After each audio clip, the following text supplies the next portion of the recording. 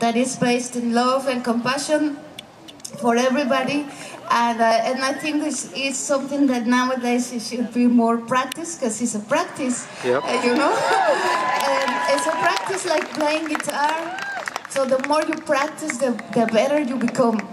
And uh, so, and this, it, it's also free. So you don't need to, to pay lessons for this, you can do it for free.